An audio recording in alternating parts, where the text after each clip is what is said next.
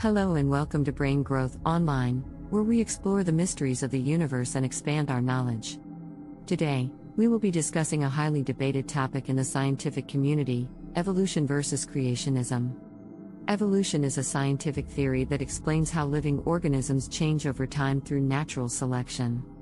It is based on the idea that all life on Earth evolved from a common ancestor over millions of years.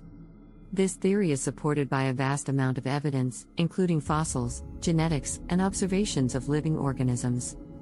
On the other hand, creationism is a belief based on the idea that the universe and all living things were created by a divine being, usually the god of a particular religion.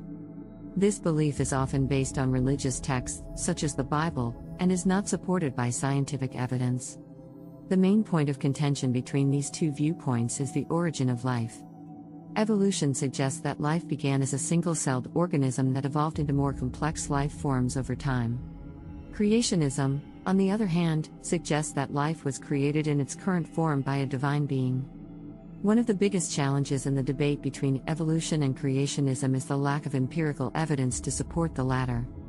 While scientific theories like evolution are built on empirical evidence, creationism is based on faith. Another issue is the interpretation of religious texts. Many people who believe in creationism interpret religious texts literally, while others interpret them metaphorically or symbolically. This makes it difficult to have a consistent understanding of what creationism actually entails. It's important to note that some people believe in both evolution and creationism. They see evolution as a scientific explanation of how life changes over time, while also believing that a divine being created the universe and life itself.